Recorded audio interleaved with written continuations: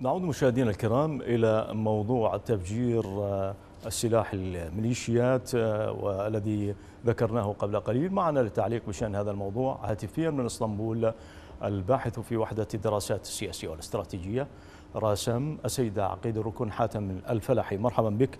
إذا بعد تكرار انفجارات مخازن سلاح الميليشيا في الأيام الأخيرة لماذا تضطر الميليشيات إلى تخزين أسلحتها ومنها الأسلحة الثقيلة داخل الأحياء السكنية التي أدى انفجار بعضها إلى قتل مدنيين؟ نعم مساء الخير لك ولمشاهدي قناتكم الكريمة. أهلا وسهلا.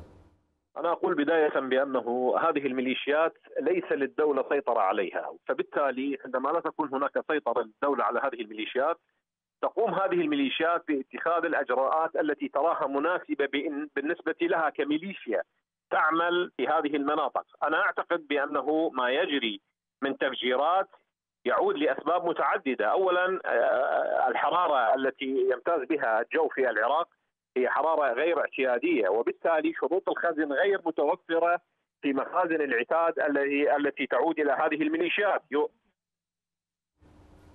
يضاف إلى هذا بأنه هذه هذه هذه الميليشيات تعمل وفق أجندة خاصة وهذه الأجندة قد تحتم عليها في بعض الأمرار استخدام المناطق السكنية لإخفاء هذه الأسلحة لأنها تقوم بالتصنيع والتخزين في هذه المناطق لأنها تحسب حسابات بان هناك مناطق مثلا تعود إلى هذه الميليشيا ومناطق أخرى تسيطر عليها ميليشيات أخرى وبالتالي نحن لا نتكلم عن دولة وإنما نتكلم عن دولة ميليشيات كل ميليشيا تسيطر على منطقة معينة وبالتالي تحاول أن تكدس هذه الاعتده في هذه المناطق بغرض استخدامها عندما تكون هناك حاجة لاستخدام مثل هذه الأسلحة. ولكن ألا تستطيع الحكومة السيطرة على ذلك؟ لماذا تسمح بهذا التخزين داخل الاحياء السكنية؟ ومعروف أن القوات المسلحة يعني لها أماكن محددة بمواصفات خاصة.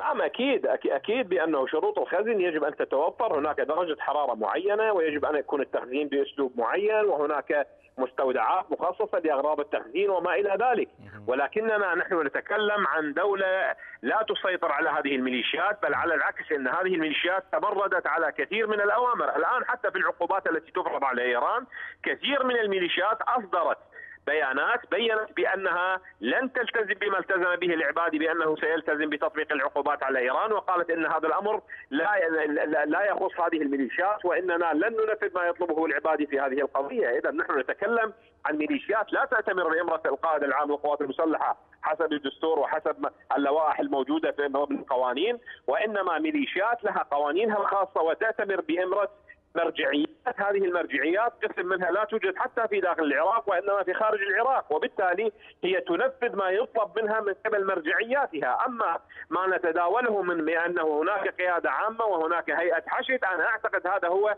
للتزويق وتزويق المظهر الخارجي فقط أما السيطرة الفعلية فهي لقيادة هذه الميليشيات التي تنتمي إليها وهي خارج العراق. يعني لافت للنظر كثرة الانفجارات للميليشيات في الأيام الأخيرة وبعد كل انفجار لمخازن أسلحة. هذه الميليشيات تعلن الحكومة نيتها التحقيق ثم لا يعرف الرأي العام في العراق أي شيء عن نتائج هذه التحقيقات. ما تعليقك؟ نعم أكيد. يعني هناك تفجيرات حصلت في بغداد الجديدة وفي منطقة العبيدي وهناك تفجيرات الآن في كربلاء.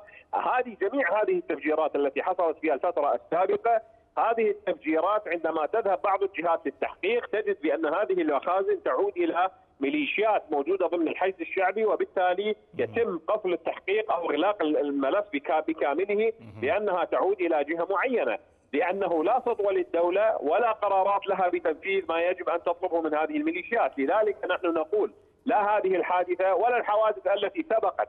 كان هناك كانت هناك تقارير تبين مسؤولية الانفجار وعاديته ومحاسبة الذين قاموا بهذا التفجير وما إلى ذلك وإنما يتم اقفال التحقيق وإنهاء القضية لأنها تعود إلى ميليشيات معينة وهذا دليل آخر على أنه ليس هناك للدولة سطوه على هذه الميليشيات.